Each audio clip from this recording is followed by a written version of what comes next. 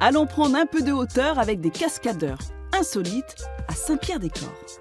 Ces sportifs de haut niveau et entraînés sont de véritables acrobates. Direction le centre-ville à la recherche de ces gymnastes hors normes. Ah Je les ai trouvés. Ah oui, ah oui. Bonjour les traceurs, bonjour Ah, les traceuses. salut. Vous allez bien?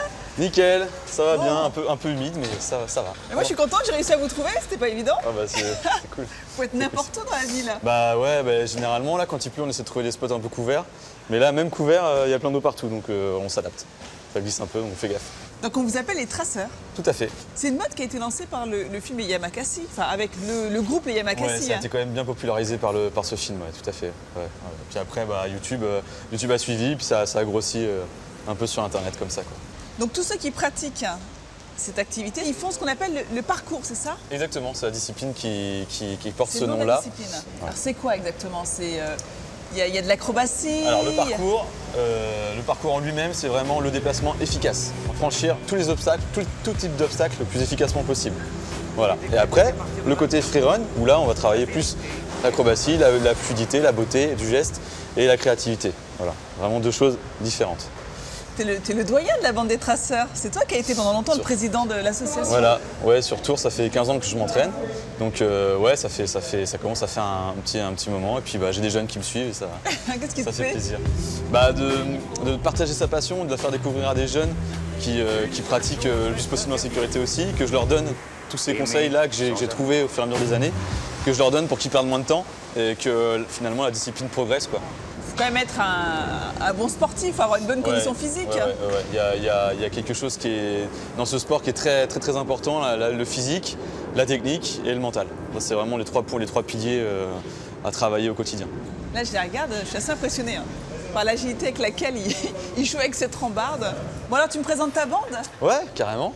Donc là, dans le fond là-bas, on a Florian qui s'entraîne sur euh, un tic-tac, passement et puis euh, du flow, excellent. Ensuite, on a Martin, le plus jeune de la bande. Et ensuite, on a Alan. Yes. C'est de la danse Ouais, ouais, ouais, également. bah, c'est le côté artistique, c'est vraiment le freerun, c'est vraiment un côté artistique. hein. On a Sandy Mabika qui est aussi mon assistante de l'association, qui s'entraîne depuis euh, un peu plus d'un d'un an et demi. Donc, c'est une jeune recrue. Voilà, tout à fait. Yes. Voilà. Voilà, donc là on est vraiment sur le passement de base, on, on progresse tout doucement, donc c'est cool, ça, ça avance.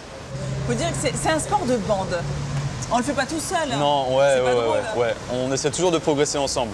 Et on est tous, tous, tous euh, euh, plus forts dans un, dans, dans un autre domaine qu'un autre, et on s'entraide comme ça, et on progresse ensemble comme ça. C'est qui le plus jeune dans la bande là? Martin. yes. T'es le plus jeune, toi? T'as quel âge? 15 ans. 15 ans? Et qu'est-ce qui te plaît dans, dans cette discipline? Ah bah, c'est bouger, c'est vraiment euh, pouvoir euh, vraiment se confronter euh, avec euh, des gens sur les capacités physiques et être toujours euh, au maximum.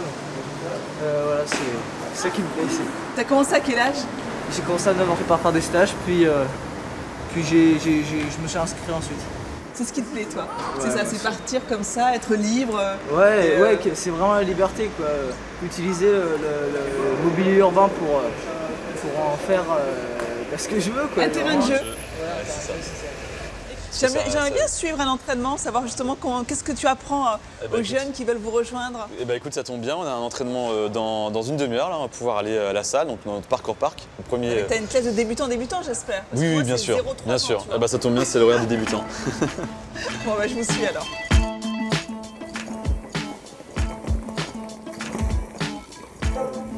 Pompe claquée et deux sauts.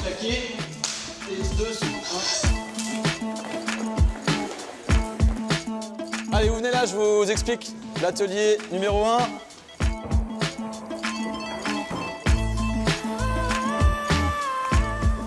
Donc là, on va faire le saut de détente. Un pied, un pied, sauter, deux pieds. Là, tu as juste à te concentrer en l'air. Il faut que tu mettes les pieds ensemble. Ok. Ok? Excellent. Très belle pointe de pied. Rien à dire. À vous, les gars.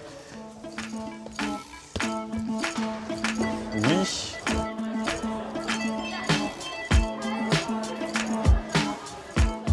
Il y a quand même deux filles, hein, parmi tous ces hommes là, il y a deux traceuses, de futures traceuses. Qu'est-ce qui vous plaît? Bah, le fait que c'est un sport original et que bah, ça, ça se développe, ça a l'air super.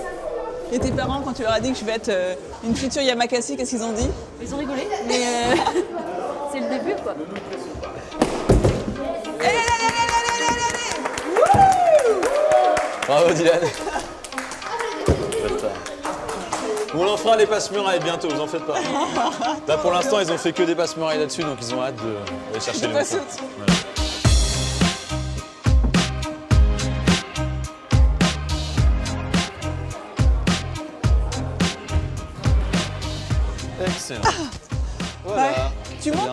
Eh bien, au fur, au fur et à mesure des années, on va faire des passements de plus en plus compliqués. Et puis ça donne ça.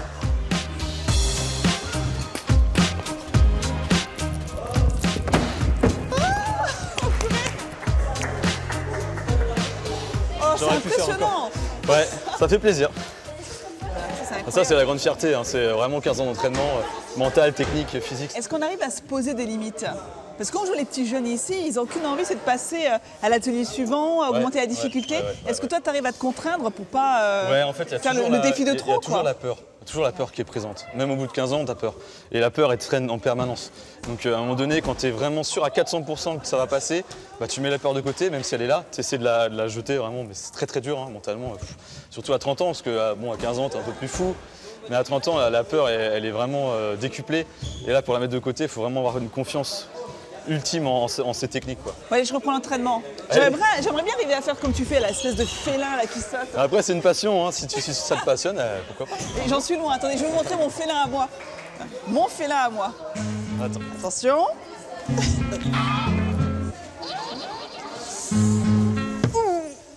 Yes. Yes. Yeah Excellent.